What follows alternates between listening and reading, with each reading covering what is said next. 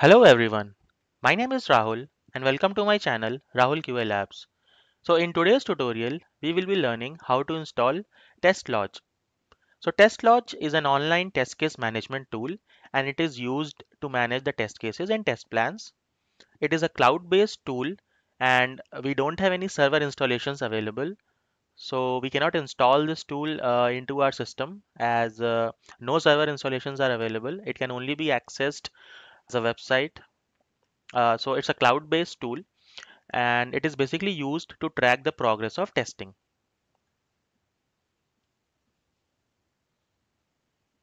So it provides you a 30 day trial period and no credit card is required to sign up. Okay, so let's see how we can access uh, TestLodge into our systems. Uh, this is the URL that we have. Copy this URL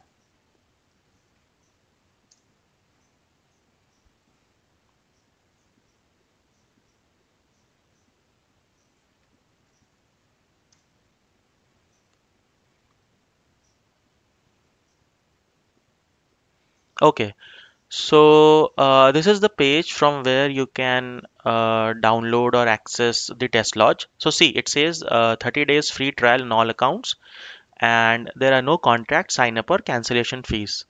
So we have different uh, versions of TestLodge available.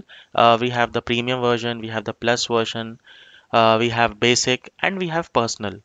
So as per the amount defined, uh, different features are available. For example, if I took a premium one, okay. So for premium, we have 1500 test plans, 10,000 test cases you can create, uh, 3000 test runs. Similarly, other plans are also available here, as you all can see here. So uh, for our tutorial, we'll choose the basic plan and we will click on trial. Let's click on start trial. Okay, so it is asking you uh, to fill some details out here. Uh, let's start. We'll fill here. Email.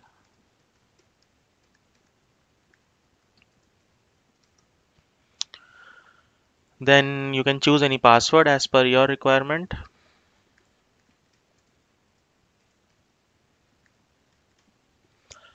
Okay, so these are the basic details that you have to fill out here. Then next, uh, it is asking you to create your TestLodge site address. So see, uh, every TestLodge site has its own web address, so you can choose uh, as per your convenience. And uh, while choosing, you have to take care of these things that letters and numbers are only required. So let's fill out here. So I have taken uh, the site address as Rahul QA Labs. Let's click on uh, create my account. Okay, so see, uh, it says the message as thanks for joining TestLodge and it is asking you to enter, uh, you know, the email address and the password. So let's enter the email and we'll take the password.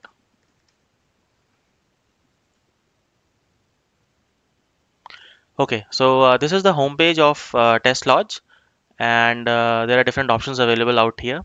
So that we'll be seeing in later tutorials. So this is how we can access TestLodge into our system. It's a cloud based um, access and it's a 30 day trial period. Okay so thank you very much for uh, watching my video and if you like the video do subscribe my channel and keep learning in life. Thank you